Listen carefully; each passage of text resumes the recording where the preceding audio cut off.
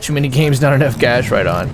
I didn't. Uh, you. Oh, you had fun playing it. Nice. At the very least, we have a constant spawn point. There's guys in these houses. Oh, he's fucking in a cannon.